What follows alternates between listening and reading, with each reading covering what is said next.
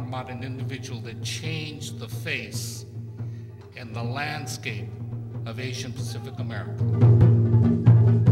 Chris and I sort of grew up together. We weren't exactly children, but between 1969 and 73, during the birth of the Asian American movement, we found our voice.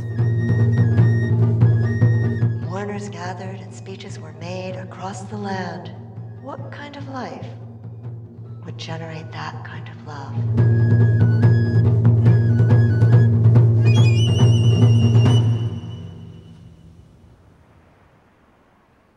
if like no one told me, I wouldn't even have guessed he was in part of like this monumental sort of struggle. I've heard he was arrested a couple of times, so when I first heard that, like, wow, that's awesome. Yes. Foster children of the Pepsi generation, cowboys and Indians ride, red men ride. Hey, watching war movies with the next door neighbor, secretly rooting for the other side.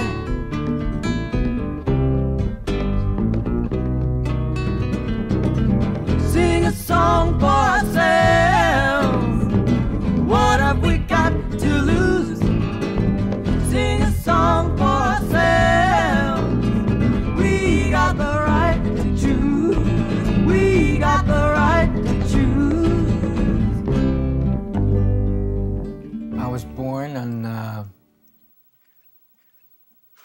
born? I was born in Manhattan. When Chris was about eight years old, he was reading the Times already, and he saw this picture of, of, a, uh, of a lynching. And he said, Mom, what is this? So we got into discussion about it. And one of the first things that I did was to take Chris to Washington for the Martin Luther King address. That was one of the big days in that early life. Politics was always around because of my folks. And then the Vietnam War was just beginning. I was in the picket line against the war in 1965 or something. I remember we got beat up. And so that was sort of the beginning of, well, maybe I should join a peace group. And so I came to Columbia and, in the takeover years. Have you ever woken just before the day is broke? I remember spending a summer with the black students, but I remember when they took over, black students took over the building, I didn't go because I wasn't black, you know, and, and so I was involved in the SDS part, but the problem with SDS is we're mostly white students, and like, I I didn't feel at home there either. I was ready for something different. By yourself, you are just by yourself. Just look at my children walking hand in hand. Walking hand in hand. Chris and I were peers. You know, he was uh, a leader in the movement in the New York area, and I was a leader in the LA area. We looked at what Chairman Mao thought about art and culture. Art was a tool, it was a vehicle. Out of LA, there was this thing happening where the culture and art became a way of expressing our politics.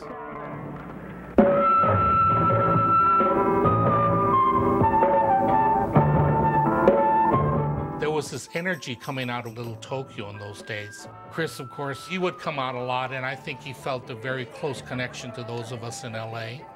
I have to say that I think my friendship with people in LA changed my life.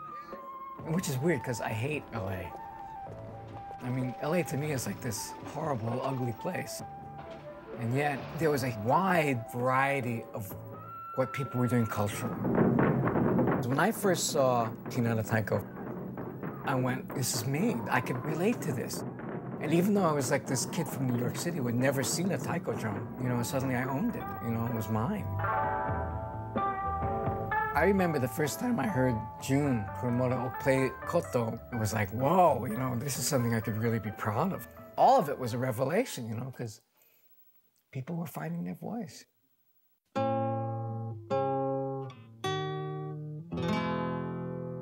Even before I met him, Chris wrote a song called The Vietnamese Lament.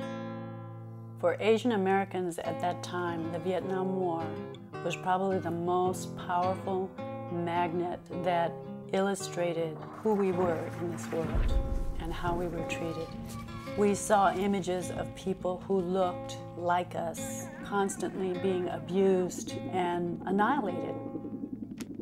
And this is one more that you will not win. My people won't run from your M16's din. And you can't quell something that's rising within. Away, you soldiers of khaki and tin. He was probably under 20 when he wrote this. The thing that Chris was able to do was to quickly grasp the heart of a situation and very poetically put it together. But he also had to have a groove to it. He could play in a very soulful way that I had never heard any Asian play like that. And I know that my answer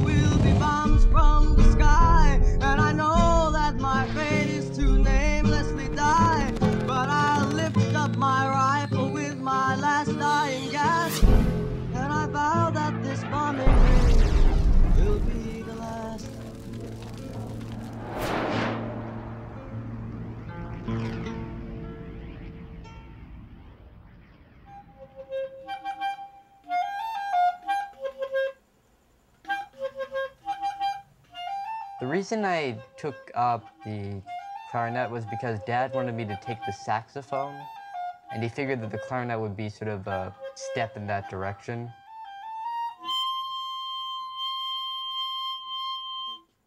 It's not cool.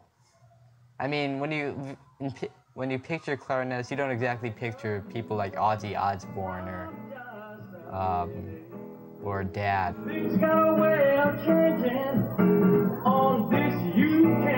Like I knew he could play guitar, I knew he could sing. I just didn't know he was in a band or anything. When yeah, when he, he started play, he did the comeback tour, or whatever it was. And I went, we went to that, and we heard him. All this stuff started opening up, I guess. All this stuff about the movement.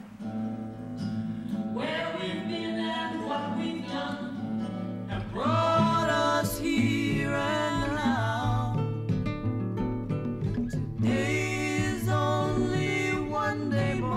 remember going to a meeting of Asian Americans for Action, and there was uh, Chris with his mother and his father at a meeting, and I'm going, oh, this is really weird. I was in AAA and Joanne was in AAA and Nobuko was Joanne at the time. And 1970 was having its big convention in Chicago. We decided we'd have to make a presentation of some sort. And so Nobuko and I said, well, I can play the guitar. And she said, I can sing. So we said, let's write some songs and we'll sing it at a fundraiser get money to go to Chicago. And so uh, that's what we did. And, and people seemed to like it. So we said, well, we can do it here. Let's do it in Chicago.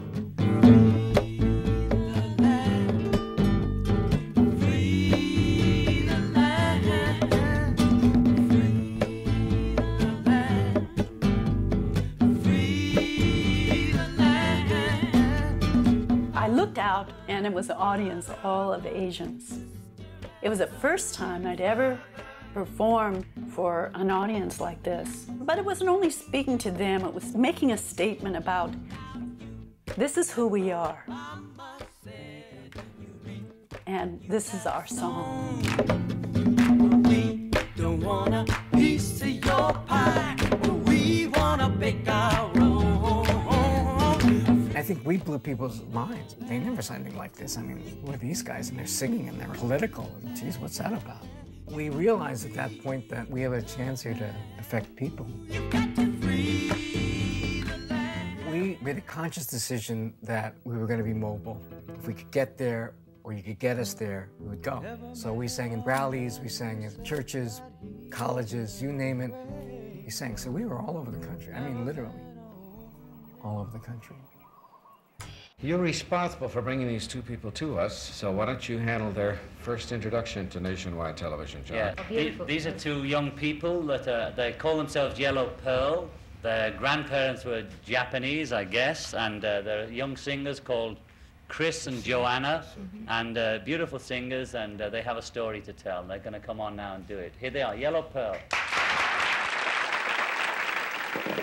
Usually, people know very little about Asians. And this is a song about our movement, about our people's plight in America. We are the children of the migrant worker. We are the offspring of the concentration camp. Sons and daughters of the railroad builder who leave their Nobuko and I did it together for about a year, and then, and then we met Charlie and we hooked up with Charlie. We did a concert at Pace College, and we were backstage, and we're talking to Charlie, Charlie Chin, and uh, they're coming back, and they say, you know, this time is getting short. I hope we have time to get you guys all in. And so Charlie said, listen, I'll back you up. So they start singing and playing, and I'm playing behind them. I'm listening and going, wow, what are they singing about? Right? And they're doing this, the masses, the people, da da da da da. So going, wow, I've been hearing about this stuff, but I never heard Asians carrying on like this. So one thing led to another. They basically wrote songs, and I would join them. So music was the vehicle. It was never a musically driven group. It was a group driven by this idea that to be an Asian American was to refute what the mainstream was saying, and what the mainstream was saying is, this is not your place and this doesn't belong to you. It means struggle.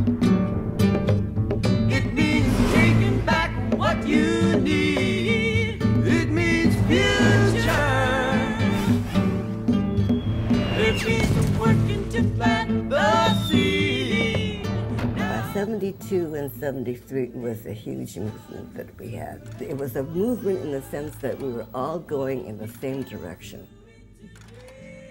We're looking for values and what you believe about what being an Asian meant, how people without voice get voice. And that's what it was about. Not that I'm proud of being Japanese or I'm proud of, you know, Chinese food. There was a broad feeling that we were all doing something progressive together. One thing that we felt that music could do would reach people in a way that a speech wouldn't reach them. That we wanted it to touch their heart, we wanted them to move their spirit. I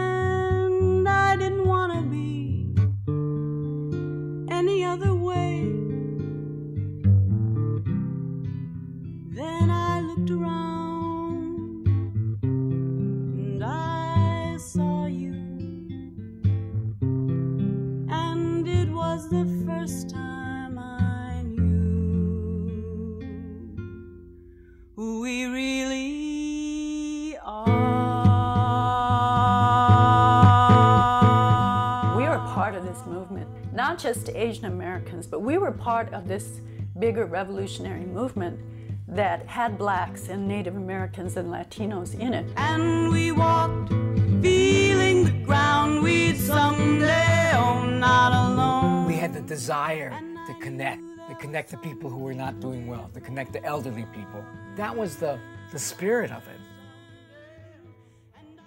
I mean, it wasn't we're all Asian, we're all cool together. It was, it was a political, progressive mindset. Uh, so where was I? Sing a song for. We began to have a body of work here. We have an album now. Should we try to go professional? And Chris was just adamantly against it.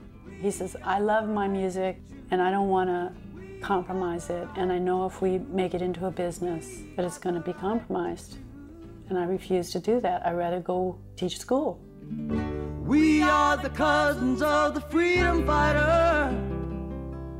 Brothers and sisters all around the world. In terms of Chris, Nobuko, and Charlie as a group, it functioned for a purpose for a time, which meant that the phenomenon of that little trio would pass. He couldn't keep singing the same damn song. If he wanted to write new songs, he had to have new experiences. That's why he kept moving forward. Who will leave a stamp on America? Who will leave a stamp on America? America.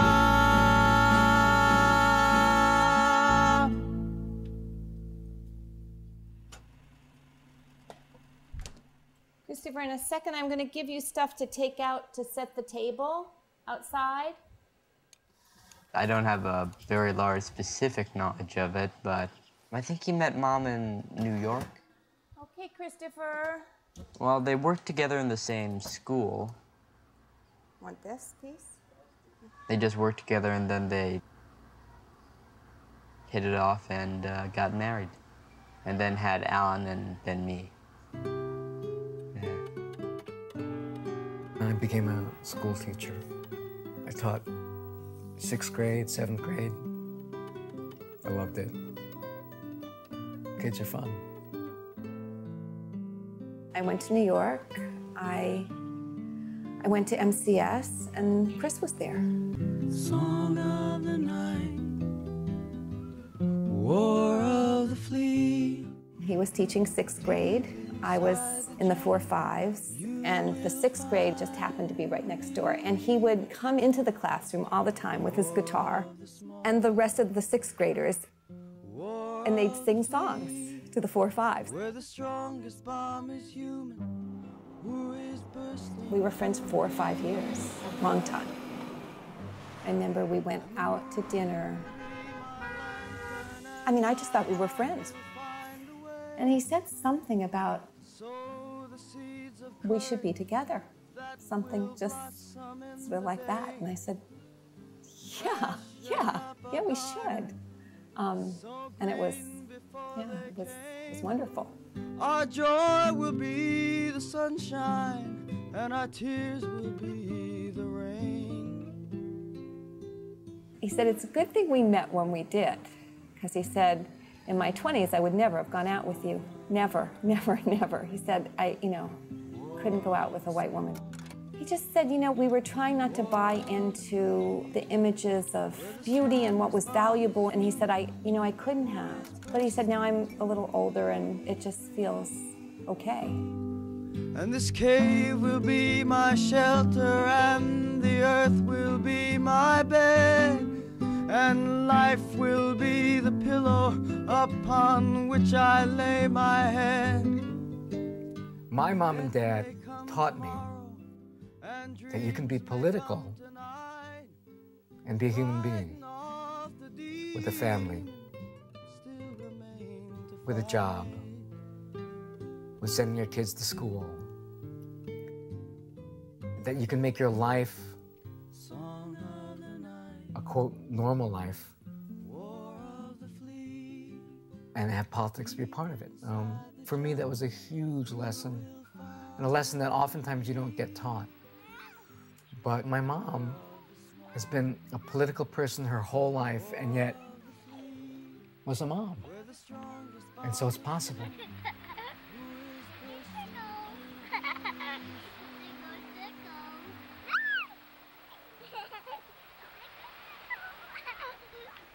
I think when I hit my 30s, I, I thought I was losing my effectiveness as a teacher. He said, I'm going to go to law school because I feel like I need to do something that will affect the lives of more children than the, just the children I'm seeing in the classroom. Chris and I decided to go to law school. He said, Warren, it's not that hard. And I said, well, What do you mean? He said, Well, it's just like reading Lenin's What is to be done. It's simple. And I never understood what Lenin meant and what is to be done, so I figured I was doomed. Take my hand, let's go walk into the promised land. So I became a lawyer in a private firm and probably would have died at 40 a heart attack. So I decided I'll teach. I'll teach law. And then I heard that there was this job opening in Hawaii. I told Jane, I said, you know, it's now or never. You know, this is our shot to go live in Hawaii and toss the dice. And boy, I'm glad we did it.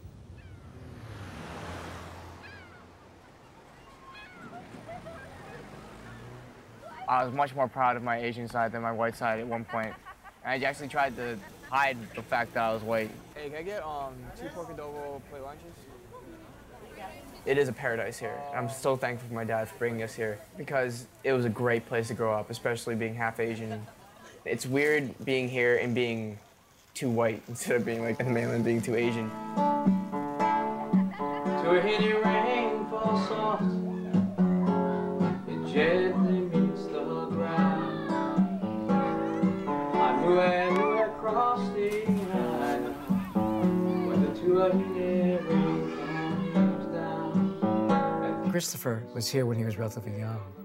I asked Alan what he remembered about being called a chink or Chinaman, and Alan remembered it I remembered it, and my dad remembered it.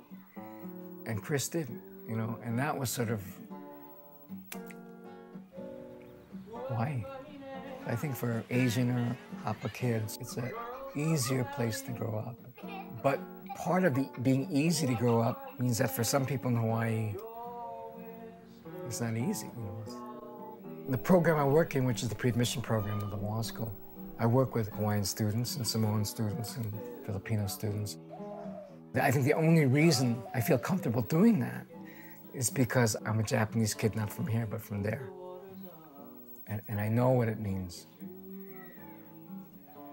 to feel not accepted.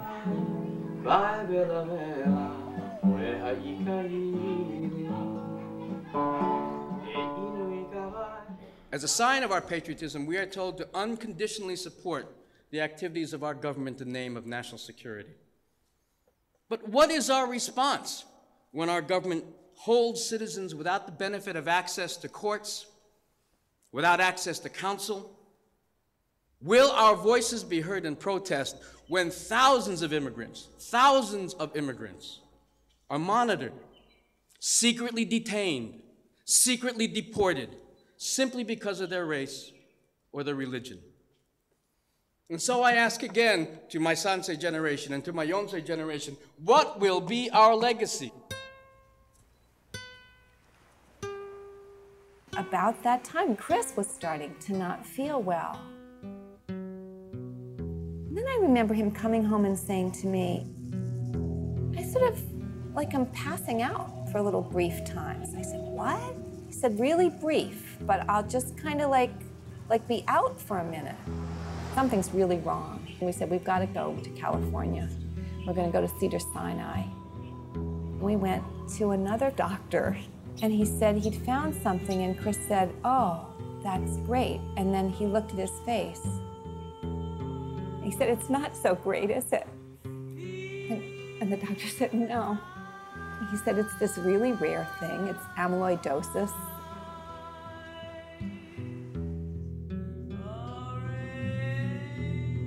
When he was sick, Chris would have his moments. Chris would get upset and mad because why is this happening?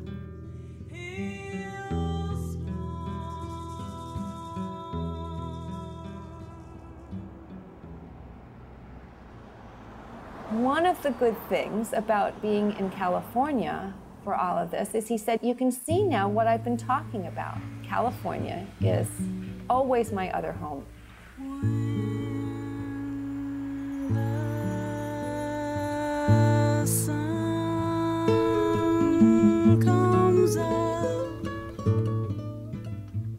Chris's crew was just pulling through. I mean, I remember we made no airline reservations. We didn't drive ourselves anyplace. It all like just happened.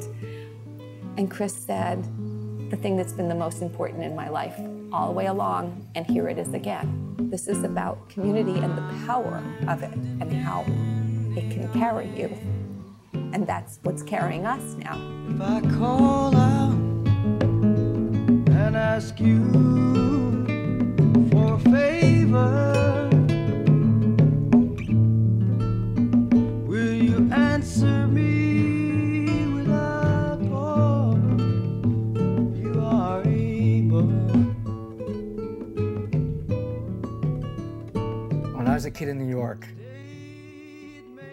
I didn't have a community. I mean, there was a Japanese community and there was a movement community and, and, and um, but when I came to LA, um, it was the first time in my life that uh, I met people who, um, who I cared about, you know, in, in a in more than a political way and more than a you know, sort of movement way. Uh, You know, I, consider them my best friends and, and in a way my my community.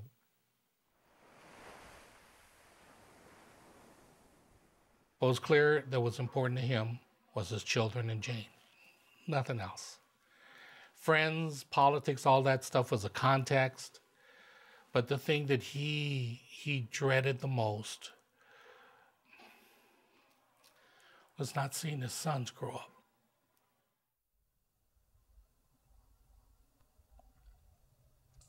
And we you know we talked about when I saw him the last time at the hospital. It was good to be able to just thank each other because to have a partner to walk on the path with somebody and learn the way we did is a real blessing.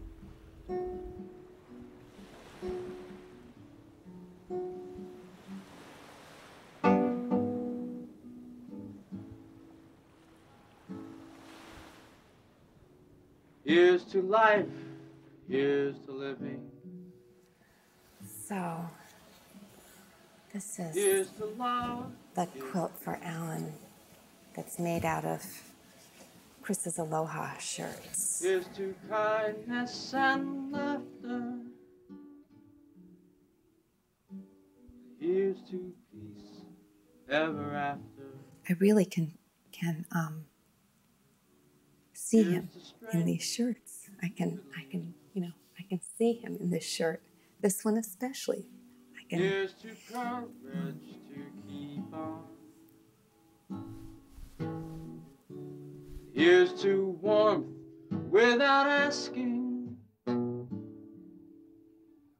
Here's to peace ever. And it does still feel, even now, it feels almost unbelievable that he's not here. Almost in, like I can't understand the world with him not in it. It, doesn't seem possible. Um, yeah. And in times of grieving, we count the things worth believing and seek the sun behind the cloud. Thank I just really hated whenever somebody brought up dad. Like how he's a great guy and how like, you know, he he had a great life and how all that bullshit. Like I mean like he did, but like I mean, I want him here now, you know? Like doesn't matter how great a life he had. I mean, I want him here now. It's, he's my dad. I, he should be here.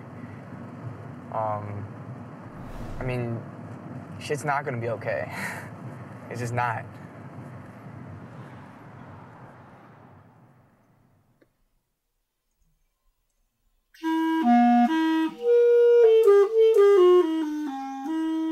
I guess it's a lot quieter. Um, a little bit more lonely, yeah. Um, I think about Dad sort of, yeah, pretty much every day. I'm not sure if Dad ever heard me in a concert. He'd heard Alan, but by the time I started doing concerts um, in seventh grade, he couldn't go, so yeah.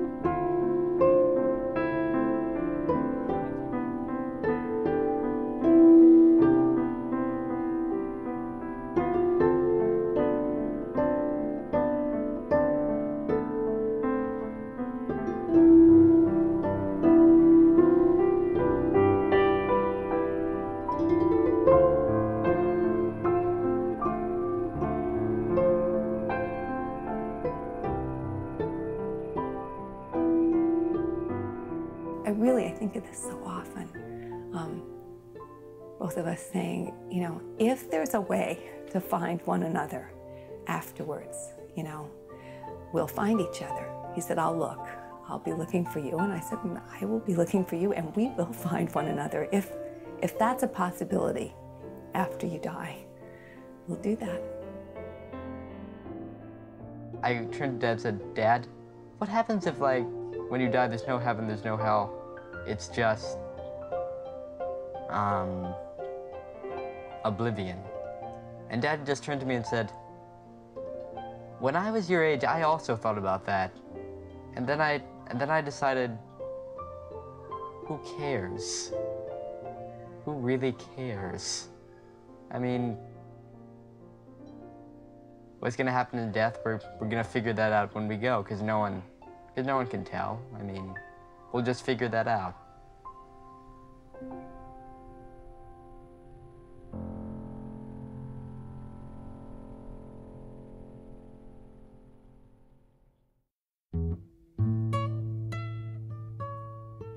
Grain, a tiny grain of sand, landing in the belly, in the belly of the monster. And time is telling only how long it takes, layer after layer, as its beauty unfolds, until its captor it holds in peril. A grain, a tiny grain of sand. In ocean, oysters pose beneath the sea. Open one, and you might find deep in one of different mind one who looks like me. In Rome, the Senate chamber rang.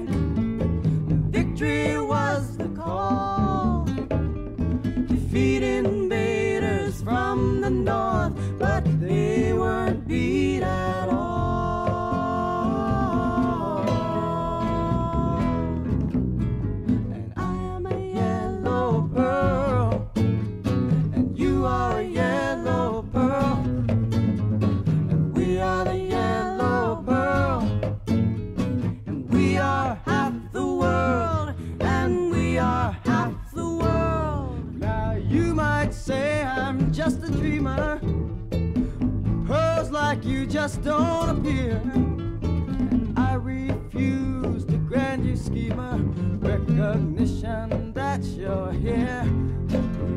Now you can say just what you want, but my hurt has ceased.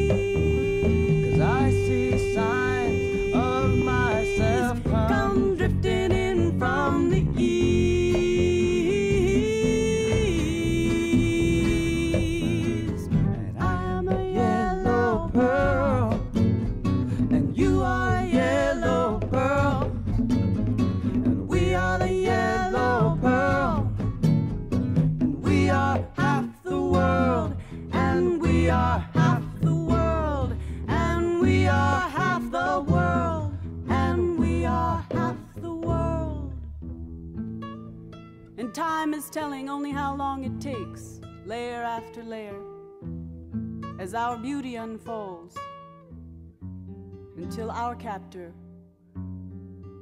we'll hold in peril.